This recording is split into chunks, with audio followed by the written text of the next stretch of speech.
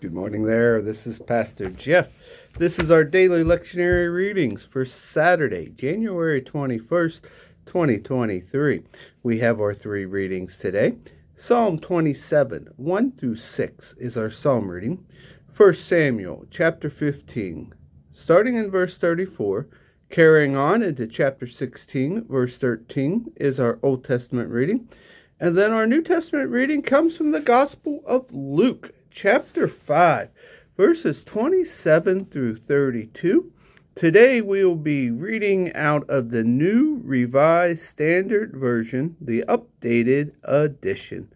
Psalm 27, 1 through 6. The Lord is my light and my salvation. Whom shall I fear? The Lord is the stronghold of my life. Of whom shall I be afraid? When evildoers assail me to devour my flesh, my adversaries and foes, they shall stumble and fall. Though an army encamp against me, my heart shall not fear. Though war rise up against me, yet I will be confident.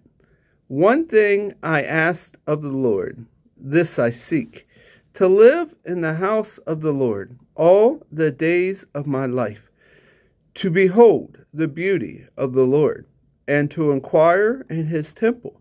For he will hide me in his shelter in the day of trouble. He will conceal me under the cover of his tent. He will set me high on a rock. Now my head is lifted up above my enemies all around me, and I will offer in his tent sacrifices with shouts of joy. I will sing and make melody to the Lord. Our Old Testament reading comes from the book of 1 Samuel, chapter 15, 34. Carrying on through chapter 16, verse 13. Then Samuel went to Ramah, and Saul went up to his house in Gibeah of Saul. Samuel did not see Saul again until the day of his death, but Samuel grieved over Saul. And the Lord was sorry that he had made Saul king over Israel. The Lord said to Samuel, How long will you grieve over Saul?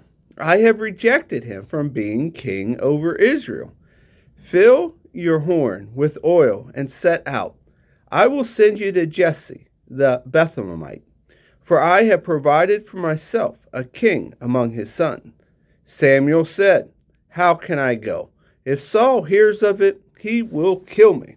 And the Lord said, Take a heifer with you, and say, I have come to sacrifice to the Lord.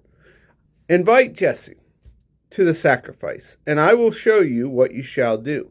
And you shall anoint for me the one whom I name to you. Samuel did what the Lord commanded and came to Bethlehem. The elders of the city came to meet him, trembling, and said, Do you come peacefully? He said, Peacefully. I have come to sacrifice to the Lord. Sanctify yourself and come with me to the sacrifice. And he sanctified Jesse and his sons, and invited them to the sacrifice.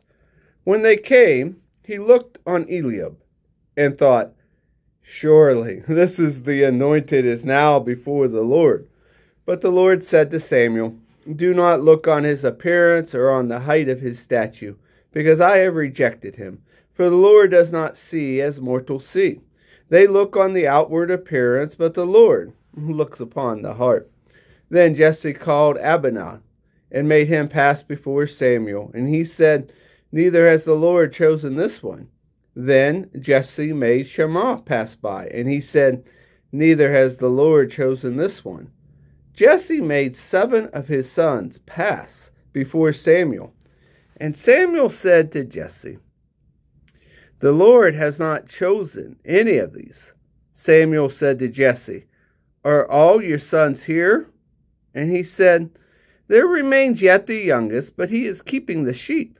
And Samuel said to Jesse, Send and bring him, for we will not sit down until he comes here. He sent and brought him in. Now he was ruddy, and had beautiful eyes, and was handsome. The Lord said, Rise and anoint him, for this is the one. Then Samuel took the horn of oil, anointed him in the presence of his brothers, and the Spirit of the Lord came mightily upon David. From that day forward, Samuel then sent out and went to Ramah. Our New Testament reading today comes from the Gospel of Luke, chapter 5, verses 27 through 32.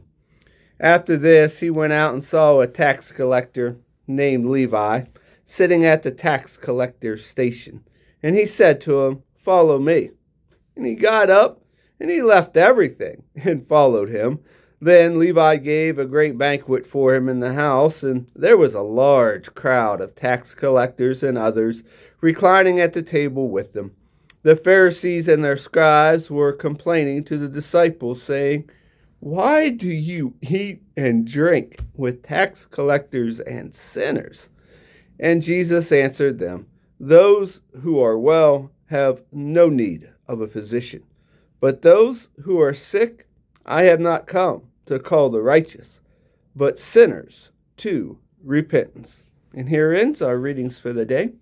Hope that you have a beautiful day, and I hope to see you in church tomorrow.